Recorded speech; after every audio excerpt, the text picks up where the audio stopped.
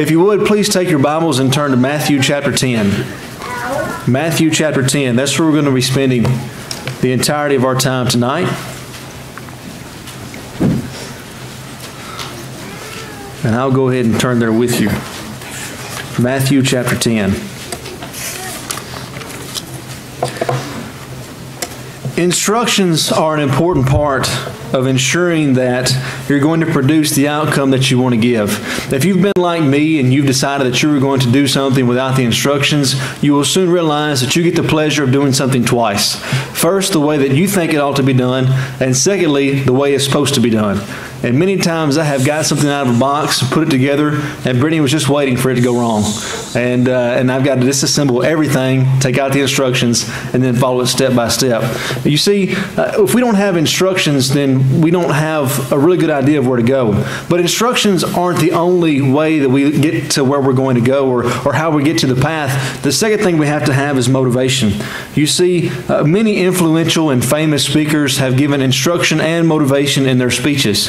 Theodore Roosevelt and his famous duties of an American citizen, or Winston Churchill's We Will Fight on the Beaches, or maybe even Douglas MacArthur's uh, Courage, Duty, and Honor.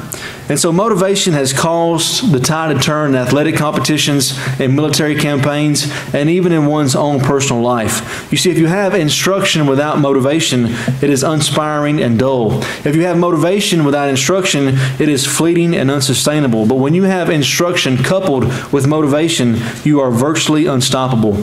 In Matthew chapter 10, we have both of these things together. You see, some of you have graduated high school, you're about to embark on a new journey in your life, and before you go, I think you need to listen to what Jesus says in Matthew 10. Many of you are going to leave the auditorium tonight and go to your workplaces tomorrow. Well, before you go, you need the instruction and the motivation of Jesus in Matthew 10. In Matthew 10, we have one of the longest discourses of Jesus in the New Testament. And many people can tell you about the Sermon on the Mount in Matthew chapter 5, verse, verses 5 through 7. Many can tell you about the Sermon on the Plains or Jesus' instruction in John 14 through 17. But Matthew chapter 10 is often over overlooked as one of the longer discourses of Jesus' ministry. And in Matthew chapter 10, the disciples are sent out on a limited commission. Now, of course, we know about the Great Commission in Matthew 28 when Jesus gives the disciples that commission before he is taken up into heaven on the clouds. But in Matthew chapter 10, Jesus takes the disciples that have been with him and by his side for months on end, and he gives them a limited charge to go and to preach and to teach and to heal and to cast out demons. And before he sends them on this journey, the entirety of Matthew chapter 10 is him instructing them and teaching them and motivating them for the obstacles that are before them. And I think through inspiration, Jesus is offering the same thing to you and I, his disciples today, before we go to school or our workplaces, to give us instruction and motivation and how we are to live our life. And so in Matthew chapter 10, the first thing I want us to see here is that we are an extension of Jesus' ministry. Jesus' ministry in Luke 19:10, he self-prescribes, is coming to seek and to save the lost. And of course, the disciples were an extension of Jesus' ministry. Jesus had them in Matthew chapter 10 for months on end, training them and teaching them, preparing them for this limited commission. They would come back and Jesus would grade them and ask them how they did, and he would continue to instruct them for a few more months before they sent them out on their final mission, the Great Commission. You see, you and I, although different than the apostles and the disciples in Matthew 10, but we are an extension of Jesus' ministry. We have been given the Great Commission. Matthew 28, 18 through 20 still says, Go, all authority in heaven has been given to me. Go therefore and make disciples of all nations, baptize them in the Father, the Son, and the Holy Spirit, teaching them to observe all things I've commanded commanded to you, and behold, I'm with you always, even to the end of the age. If the work of Christ is going to be accomplished today, it is going to be accomplished through the church. If the work of Christ is going to be accomplished in this community, it'll be through the church in this community. And that's you and I. And oftentimes we look around and think, well, somebody else will say something, somebody else will do something. But if you're a disciple of Jesus Christ, you have been given that commission, each and every one of us. We can ask ourselves, how on earth did 13 apostles the 11 apostles minus Judas. Matthias is added in, in, Acts chapter 1. Then Paul comes along in Acts chapter 9. 13 apostles. How did 13 apostles, how were they able to teach and preach and within a matter of decades, tens of thousands of people become Christians? How did they do it? And the answer is they didn't. It wasn't just 13 guys. It was all Christians owning the fact that they too were an extension of the ministry of Jesus. In Acts chapter 8, verse 4, as Paul is breathing threats against the church, as the Jews are starting to persecute the church there in Jerusalem and the surrounding areas, Christians disperse throughout the Mediterranean world. And in Acts chapter 4, verse 8 tells us, Now those who were scattered went about preaching the word. And so each and every individual in the early church took it upon themselves to be a missionary, to be a preacher, to be someone that was going to herald the good news of salvation to those that they came into contact with. Many people have asked, you know, Isaac, why is the church growing today like it was in the 1950s? Well, we're not talking to our friends, our families, our neighbors about Christ like perhaps they were in the 1950s. Uh, we've been so secularized, so uh, pigeonholed that we feel awkward talking to someone about our faith. And the Bible tells us that that's our main mission in life is to be able to express our faith and our relationship with Christ with those around us. And when we decide that we're going to truly own the fact that we are an extension of Jesus' ministry, well, then we're going to have the motivation, just like these Christians in Acts chapter 8, verse 4, to preach the Word of God everywhere that we go. Because just like those disciples, we have been given a commission, a great commission to spread that gospel. The second thing that we can learn from Matthew chapter 10 is to know when to leave. If you look at verse 14 of Matthew chapter 10, as Jesus is instructing them, he says, and if anyone will not receive you or listen to your words, shake off the dust from your feet, and when you leave that house or your town, the Jews would customarily shake the dust off their feet if they were traveling through a Gentile region so they would not contaminate the holy soul of the nation of Israel. Amos 7:17. We can see that Paul and Barnabas actually did this themselves in Acts chapter 13 verses 50 through 51. They went to Antioch of Pisidia and they were not welcome there. The people didn't listen to what they had to say. And so when they left, they literally shook the dust off their feet. You know, sometimes as Christians, we've got got to know when we've got to leave. You know, Paul and Barnabas didn't get upset in Antioch of Pisidia. They didn't say, you know what, we've been stoned in Lystra, we've been unaccepted in Pisidia, this is too hard, it's too tough, the people won't listen. People are different today than they were 30 years ago. This, people just won't listen to us anymore. And they didn't stop. They didn't pack up their bags and go back to Antioch and give up on missions. They didn't give up on preaching and teaching. In fact, Paul would say in 1 Corinthians 9:16, "Woe to me if I do not preach the gospel." That's the type of attitude that he had because he truly believed that he was an extension of Jesus' ministry. But he took Jesus' words to heart here in Luke, I mean Matthew 10, verse 14, even though technically he wasn't even there. He shook the dust off his feet. Uh, sometimes when you're trying to talk with someone about Jesus, they're not going to listen. And don't get frustrated. Don't get angry. Don't get sad or upset. Just realize it's not the right season for them. And it may never be the right season. But just shake the dust off your feet, literally or figuratively if you want to, and just go to the next person and go to someone else because that's what the disciples did. That's the instruction. So Jesus did himself.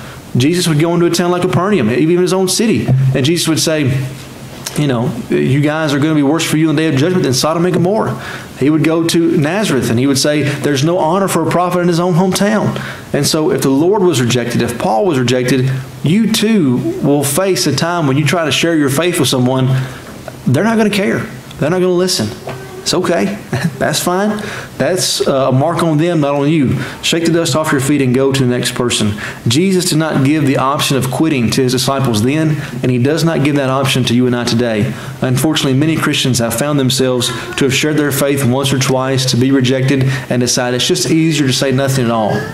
Well, at that point, we become a disobedient disciple because we're no longer trying to fulfill the commission that God has given us. The third thing that we can learn from this passage here is persecution will come. Let's look at verses 16 through 18 and then verses 21 through 22. 16 through 18 and 21 through 22. Behold, I am sending you out as sheep in the midst of wolves, so be wise as serpents and as innocent as doves. Beware of men, for they will deliver you over to courts and flog you in their synagogues, and you will be dragged from governors and kings for my sake to bear witness before them and to the Gentiles. Now, verse 21. Brother will deliver brother over to death, and father his child, and children will rise against parents and have them put to death, and you will be hated by all for my name's sake. But the one who endures to the end will be saved. Often persecution has come from three separate places, the three places that Jesus mentions here. Those persecutions will come from our own physical families, they'll come from the religious establishment or the government, and they'll come from those who are outside of Christ entire or outside of any type of Christendom altogether. Regardless of where the persecutions come, Christ did not give the apostles the option to waver in their faith or waver in their commitment to Him. In John 15, 18 through 22, Jesus says, If the world hates you, know that it has hated me before it hated you. If you were of the world, the world would love you as its own, but because you were not of the world, but I chose you out of the world, therefore the world hates you. Remember this word that I've said to you a servant is not greater than his master. If they persecuted me, they will also persecute you. If they kept my word, they will also keep yours. But all these things they will do to you on account of my name, because they do not know him who sent me. And if I had not come and spoken to them, they would not be guilty of sin, but now they have no excuse for their sin. You see, the world rejected Jesus because he stood for righteousness. The world rejected Jesus because he wasn't afraid to call sin sin. And the world is going to reject us. It's going to reject us for the exact same reasons because we're going to call sin sin, because we're going to strive to live a holy life and if the world rejects you for those things, that's okay.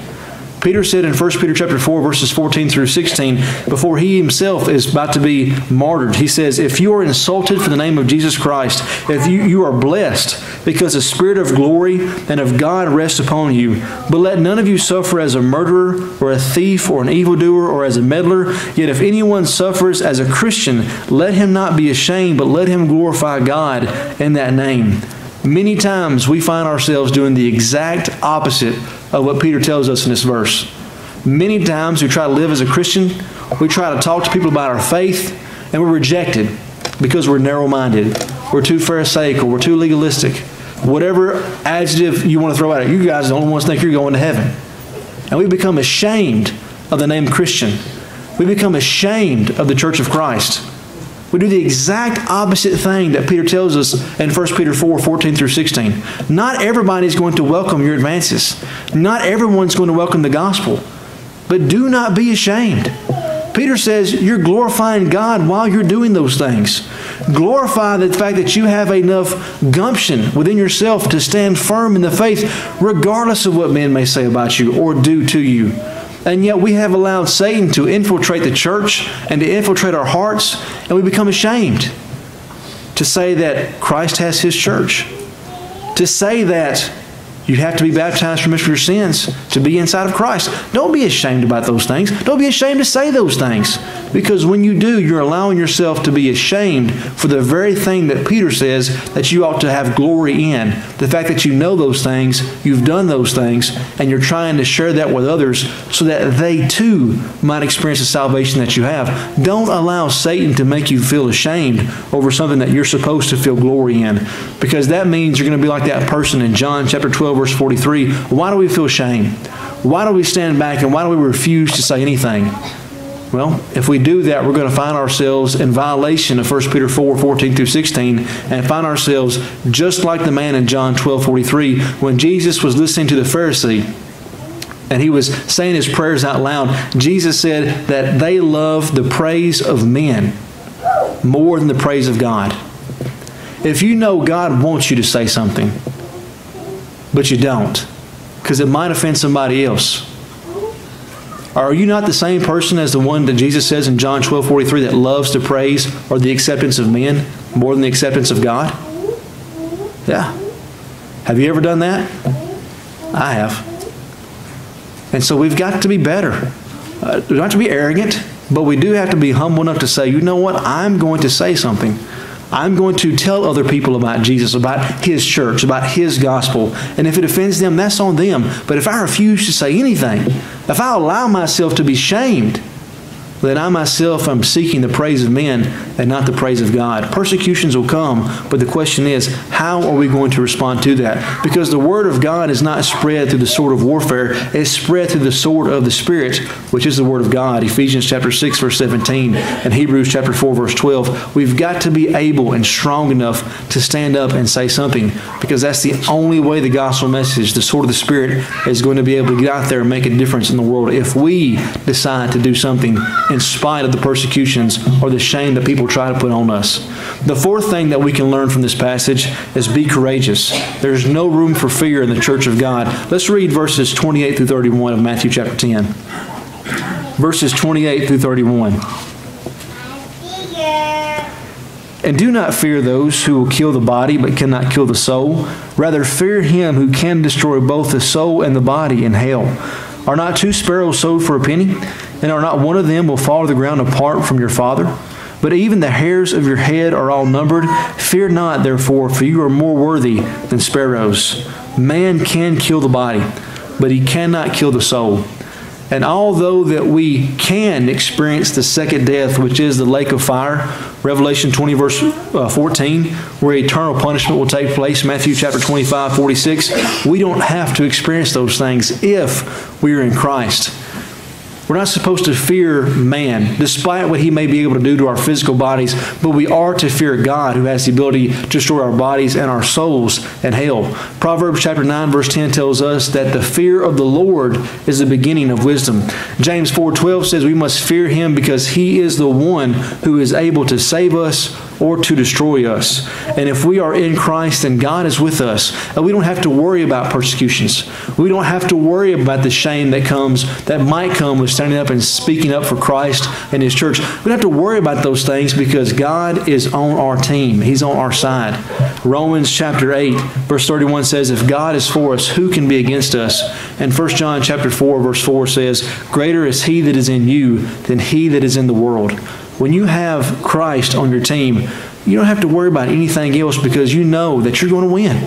That you're going to be sure that you're going to be victorious because God promises that in His Word. There's no room for fear. Uh, Timothy tells, Paul tells young Timothy, as Timothy was trying to, to carry on his ministry, his mentor Paul was no longer away but in prison and about to be uh, beheaded himself. And so Paul was trying to encourage Timothy, and he says that God has not given us a spirit of fear, but of power and of love and of self control. Christians aren't supposed to be people who are afraid.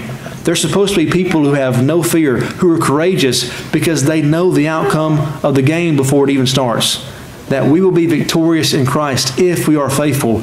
Revelations 2:10 and because we know that we have the motivation to persevere and to be dedicated to the cause of Christ. Let's read verses 38 through 39 of our text. 38 and 39 and whoever does not take up his cross and follow me is not worthy of me whoever finds his life will lose it and whoever loses his life for my sake will find it bearing your cross. This is the first time the word cross is mentioned in the New Testament. Bearing your crossbeam. What oftentimes the criminal, the one who was condemned, would have to carry the crossbeam. I've forgotten exactly just how much it weighed, but I believe it was somewhere between about 75 and 100 pounds. And so the criminal would have to carry their crossbeam to the straight up and down erected pole that was already in a fixed place. And they would take that crossbeam that the criminal had carried from the place where he was condemned, fix it to that singular beam that was standing up, and that's where he would be crucified. You see, the imagery here is when you take your crossbeam, you're going somewhere. You're not just taking your crossbeam to the marketplace, you're taking your crossbeam to that erected pole that you're going to be crucified on. Jesus says, Take up your cross, your crossbeam, and follow me. When we follow Christ, we've got to be sure that we have the perseverance and the dedication that no matter what happens in this life, even if I've got to take that crossbeam to that erected pole and be crucified with Christ, literally, I'm going to make that decision. That's where I'm going to go because I'm going to follow Christ. That's the type of perseverance and dedication that I have. Luke 9 21 says, 23 says that that crossbeam, we've got to carry it each and every day. Jesus also says something about finding yourself. You see, in this life, we're all trying to find ourselves and who we are. Now, sometimes people say, you know, they're out finding themselves. Well, people try all types of activities to find themselves. They try sports, hobbies, education, careers, entertainment, legitimate means. But they also try illegitimate means, sexual immorality, drugs, other sins. None of these can satisfy what it is. That's what Christ means when he says, if you try to find your life, you'll lose it. Because people try to fill their life with all these activities, whether good or bad, legal or illegal, and they, they try to build their life around these things. Christ says you're just going to lose your life in the end because you haven't made sure to lose your life. It's a paradox. It's irony. Jesus says, but if you lose your life, you'll find it. Well, how do we lose our life? Well, we lose our life in Christ. We lose our will when we submit to His will. We lose our sovereignty when we submit ourselves to His commands.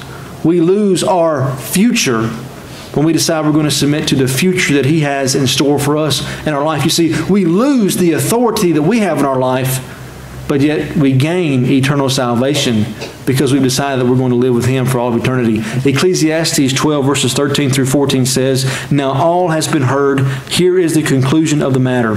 Fear God and keep his commandments, for this is the duty of all man. For God will bring every deed into the judgment, including every hidden thing, whether it be good or evil. People who find their life in Christ will also find it in eternity. In Colossians chapter 3, in that passage, Paul says that when Christ appears, if you have hidden your life with Christ, then you're going to find your eternal salvation there with Christ. And so, are you living for yourself? Are you living for your own desires, your own means, your own goals, your own sovereignty? Or have you lost those things so you can see Christ in you, so others can see Christ in you? If you've done that, then you truly have lost your life and yet at the same time have found an eternal life in His place. The sixth thing is, is that reward is waiting. Let's look at verses 40 through 42 as Jesus closes this discourse, as he's sending these disciples out, he wants to remind them at the very end that a reward is waiting for them. Whoever receives you receives me, and whoever receives me receives him who sent me. The one who receives a prophet because he is a prophet will receive a prophet's reward. And the one who receives a righteous person because he is a righteous person will receive a righteous person's reward. And whoever gives one of these little ones even a cup of cold water because he is a disciple, truly I say to you, he will, be, he will by no means lose his reward. A righteous person, a just person, is someone who is living their life, conforming their life to the will and the word of God. You may say, well, he thinks he's righteous. You know, he thinks he's just, just a righteous person. Well, I hope I'm a righteous person. I hope you are too. Because righteous person means that you're living your life according to the will of God. Doesn't mean you're a perfect person, but that you're striving to follow God's will and his word. Paul said in 2 Timothy 4 8, Henceforth there is laid up for me a crown of righteousness, which the Lord will give to me on that day, and not only me, but to all who have loved his appearing. The crown of righteousness. That's the reward that all of us are striving for to live a, a righteous life. And the one who receives a prophet will receive a prophet's reward. Even if you're not a prophet, if you receive a prophet, you will get that reward. Jesus says, Whoever receives me receives my reward. Well, what reward did Jesus have? Well, in Romans chapter 6, verses 3 through 5, it talks about how we can have the same reward as Christ. Christ lived a life obedient to the Father. And so when he died, his body was not forsaken. It was raised from the grave because he had accomplished the Father's will. Romans chapter 6, verses 3 through 5 says that if we take part in Christ's death, we will also take place, take part in his resurrection.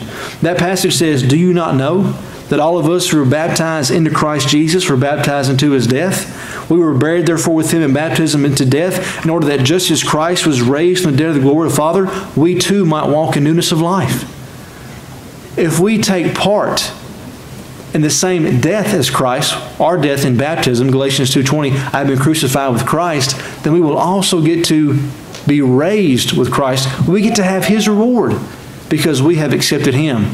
Then Matthew chapter 25 verses 37 through 40 tells us that no good deed that we do here on earth goes unnoticed. Jesus says, Then the righteous will answer him, saying, Lord, when did we see you hungry and feed you? Or thirsty and give you drink? When did we see you a stranger and welcome you, or naked and clothe you? And when did we see you sick or in prison and visit you? And the king will say to them, Truly I say to you, as you did it to the one of least of these, my brothers, you did it to me. And then, of course, in our passage in Matthew 10, he says, Even just a cup of water, that same phrase that we sang in that song. Jesus says he'll by no means lose his reward. A day of reward is coming to those who faithfully hold fast to the gospel, who faithfully live out their lives in a righteous way, submitting themselves to the will and the word of God. And that is the message that Jesus wanted to give those disciples before he sent them out. And it's the exact same message that you and I need today, whether we're fixing to be sent out to school in a, in a different town, whether we're about to be sent out in the workplace for this week, or just being sent out in this town of Chapel Hill or wherever you reside. It's important for us to remember these six things that we are an extension of Jesus' ministry, that we've got to know when to leave and shake the dust off our feet and not stop, but go on to someone else. Persecutions will come, but be courageous and do not have any fear. Be dedicated and persevere in the face of everything because we have a reward that is waiting for us. So let us, as the church here at Chapel Hill, strive to have a, a passion and a purpose each day that we live for our Lord and Savior Jesus Christ. If you're here tonight and you're not a Christian, there's a reward waiting for the righteous. But in order to be counted with the righteous, you've got to submit yourself to the will and the word of God. And you've got to ask yourself, have I done that? Have I confessed that Christ is Son of God? Romans 10.10. 10. Have I been buried with him in baptism that I might be raised in newness of life? Romans 6 3 through 5. And can I say that I'm awaiting that righteous crown that the Lord is going to give to those who have loved him and his appearing? 2 Timothy 4 8. If you haven't done that, obey his will and his word and become a Christian. For the vast majority of us here tonight, if you are a Christian, remember that we've got to be disciples who have been sent out. When you send someone out, it's to accomplish a purpose and a goal. Ask yourself, is my spiritual walk accomplishing anything, both in my life and in the life of someone else? Am I changing? Am I growing? Am I becoming more like Christ? Because if you're not, what commission are you fulfilling? if you're not seeking opportunities to share your faith with others and bring them to a knowledge of the faith, ask yourself, am I fulfilling the commission that Christ has given me? Because we haven't been saved just to sit on the sidelines. We've been saved to get in the game and to make a difference. And if we're not doing that, then we're going to find ourselves as disciples who have failed the Lord who has sent us out to make a difference in this world. And so if you're here tonight and you need to put on Christ in baptism or renew your spiritual walk with Him, uh, please come now as we stand and as we sing.